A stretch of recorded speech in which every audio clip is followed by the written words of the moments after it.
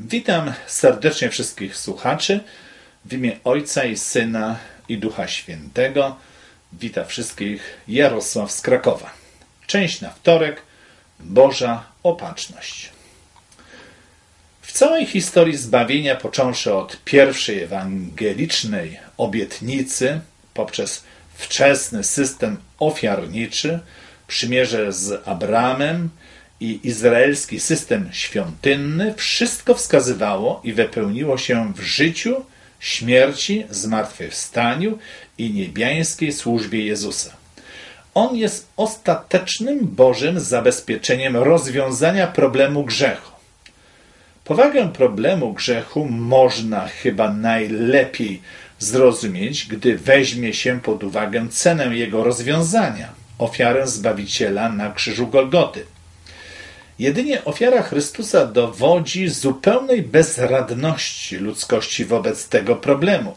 Skrajna sytuacja wymaga skrajnego rozwiązania, a śmierć Mesjasza, poniesienie e, poniesienie naszych grzechów przez samego Boga jest najbardziej skrajnym środkiem, jaki można sobie wyobrazić.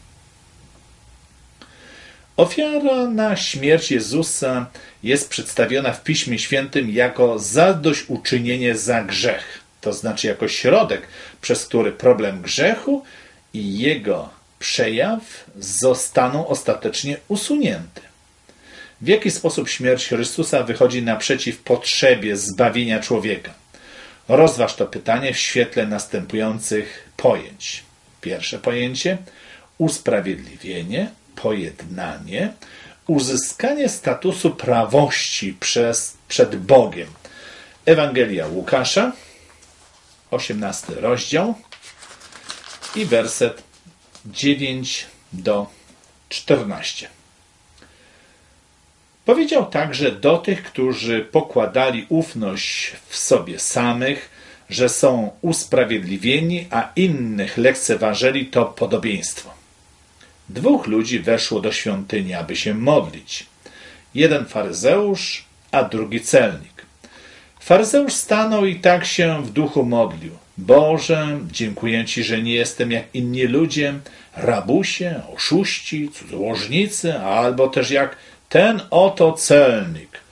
Poszczę dwa razy w tygodniu, daję dziesięcinę z całego mego dorobku, a celnik stanął z daleka i nie śmiał nawet oczu podnieść ku niebu, lecz bił się w swoją pierś, mówiąc: Boże, bądź miłościw mnie grzesznemu. Powiadam wam, ten poszedł usprawiedliwiony do domu swego, tamten zaś nie. Bo każdy, kto siebie wywyższa, będzie poniżony, a kto się poniża, będzie wywyższony. Księga Izajasza, 53 rozdział i werset 4 do 7. Lecz On nasze choroby niósł, nasze cierpienia wziął na siebie, a my mniemaliśmy, że jest zraniony przez Boga, zbity i umęczony lecz On zraniony jest za występki nasze, starty za winy nasze, ukarany został dla naszego zbawienia, a Jego ranami jesteśmy uleczeni. Wszyscy jak owce zbłądziliśmy, każdy z nas na własną drogę zboczył, a Pan Jego dotknął karą za winę nas wszystkich. Znęcano się nad Nim, lecz On znosił to w pokorze i nie otworzył swoich ust jak jagnię na rzeź prowadzone, jak owca przed tymi, którzy ją strzygą. Zamilkł i nie otworzył swoich ust. List do Rzymian, trzeci rozdział i wersety 19 do 24. A wiemy, że cokolwiek zakon mówi, mówi do tych, którzy są pod wpływem zakonu, aby wszystkie usta były zamknięte i aby cały świat podlegał sądowi Bożemu.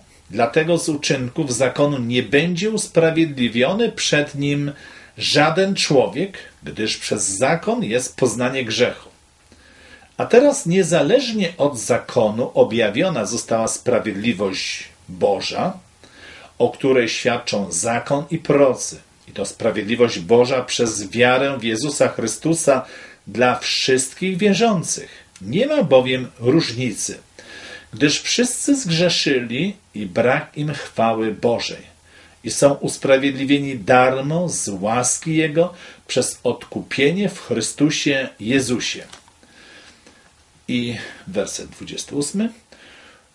Uważamy bowiem, że człowiek bywa usprawiedliwiony przez wiarę niezależnie od uczynków zakonu. Jeszcze księga Zachariasza. Zachariasza, trzeci rozdział i wersety od pierwszego do czwartego. Potem ukazał mi Jozuego, arcykapłana stojącego przed aniołem Pana i szatana stojącego po jego prawicy, aby go oskarżać. Wtedy anioł Pana rzekł do szatana, niech cię zgromi Pan, szatanie, niech cię zgromi Pan, który obrał Jeruzalem. Czyż nie jest ono głownią wyrwaną z ognia? A Jozue był ubrany w szatę brudną i tak stał przed aniołem. A ten tak odezwał się i rzekł do sług, którzy stali przed nim: Zdejmijcie z niego brudną szatę. Do niego zaś rzekł: Oto ja zdjąłem z ciebie twoją winę i każę cię przeoblec w szaty odświętne. Druga część. Uświęcenie, odrodzenie, prawe życie przed Bogiem. Pierwszy list do Koryntian, szósty rozdział. Szósty rozdział, werset od 8 do 11. Tymczasem wy sami krzywdzicie i szkodę wyrządzacie i to braciom Albowiem czy nie wiecie, że niesprawiedliwi Królestwa Bożego nie odziedziczą? Nie łudźcie się, ani wszetecznicy, ani bałwochwalcy, ani cudzołożnicy, ani rozpustnicy, ani mężołożnicy, ani złodzieje, ani chciwcy, ani pijanicy, ani oszczercy, ani zdziercy Królestwa Bożego nie odziedziczą. A takimi niektórzy z was byli aleście obmyci, uświęceni i usprawiedliwieni w imieniu Pana Jezusa Chrystusa i w duchu Boga naszego. List do Rzymian, szósty rozdział, werset od 1 do 8. Cóż więc powiemy? Czy mamy pozostać w grzechu, aby łaska obfitsza była? Przenigdy. Jakże my, którzy grzechowi umarliśmy, jeszcze w nim żyć mamy.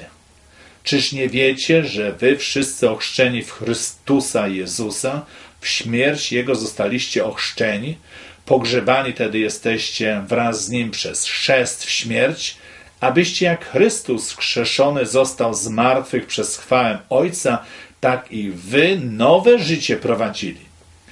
Bo jeśli wrośliście w podobieństwo Jego śmierci, wrośniemy w również podobieństwo Jego zmartwychwstania.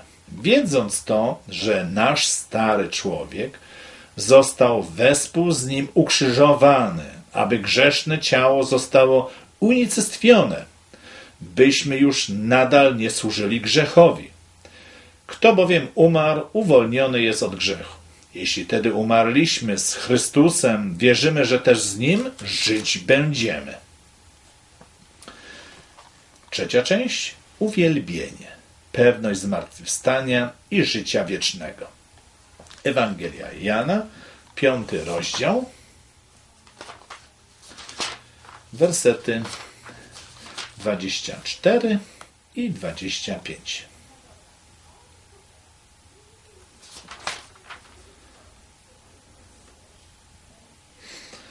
Zaprawdę, zaprawdę powiadam wam, kto słucha słowa mego i wierzy temu, który mnie posłał, ma żywot wieczny i nie stanie przed sądem, lecz przeszedł z śmierci do żywota.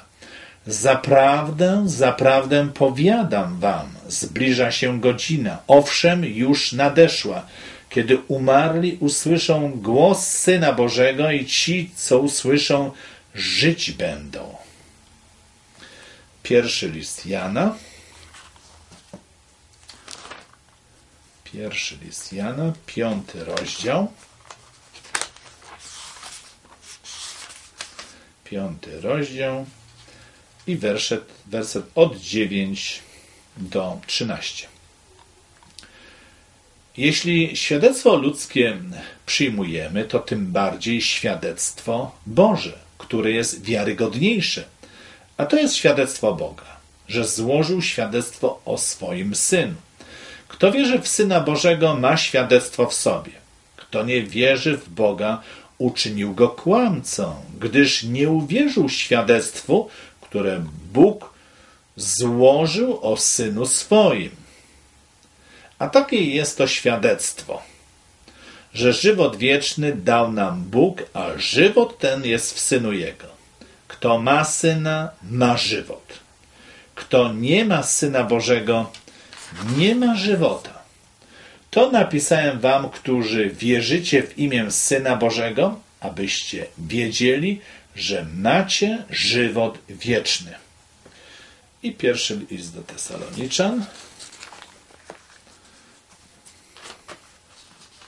Pierwszy list do Tesaloniczan, rozdział czwarty i tutaj 16 i 17. Gdyż sam Pan na dany rozkaz na głos Archanioła i trąby Bożej stąpi z nieba, wtedy najpierw powstaną ci, którzy umarli w Chrystusie. Potem my, którzy pozostaniemy przy życiu, razem z Nim porwani będziemy w obłokach, w powietrze, na spotkanie Pana i tak zawsze będziemy z Panem. Pomyśl o tym, że grzech jest tak wielkim złem, iż trzeba było ofiary Syna Bożego, by uratować nas od ostatecznego jego skutku wiecznej śmierci. Dlaczego rozmyślanie o ofierze Chrystusa odstręcza nas od grzechu? Dziękuję bardzo.